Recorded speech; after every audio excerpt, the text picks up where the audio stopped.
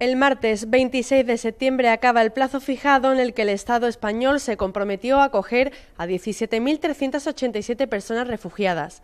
A pesar de las campañas promovidas por entidades y el gran respaldo social, el Gobierno español a fecha de hoy solo ha acogido al 12% de estas personas miembros de la Asociación Pro Derechos Humanos, se ha concentrado a las puertas de la subdelegación del Gobierno en Cádiz para dar la voz de alarma de unos incumplimientos que desde su punto de vista no iban a cumplir.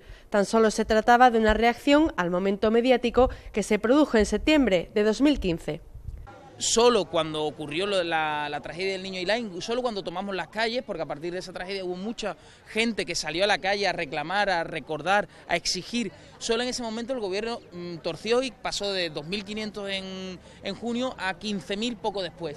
Pero desde nuestro punto de vista lo único que quería era desactivarnos, lo único que quería era eh, que las calles relajaran, que nos olvidáramos del tema de los refugiados porque no había intención denuncian que la falta de espacio no supone un problema para cumplir con los compromisos.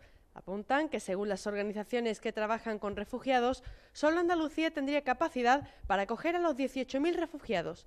Estamos hablando de, 50 provincias y estamos hablando de estamos hablando de 400 personas por provincia. Si, si alargamos a 20.000, que no son 20.000, son algo menos, si hablamos de 400 personas por municipio, estamos hablando de cifras absolutamente ridículas. Estamos hablando de dos personas por municipio si tenemos 8.000 municipios en, en, España. Por lo tanto, no se trata de no tener espacio, de no tener capacidad. Se trata de una ausencia de voluntad política, una ausencia de voluntad absoluta.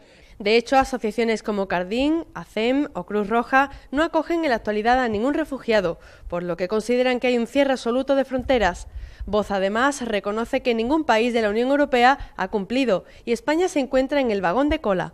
Nadie lo ha cumplido al 100%. Hay países que lo han cumplido más, eh, hay países que se negaron a cumplir, como ocurrió con Polonia y Hungría. Precisamente el Tribunal de Justicia de la Unión Europea ha considerado que esa decisión de incumplir era absolutamente ilegal.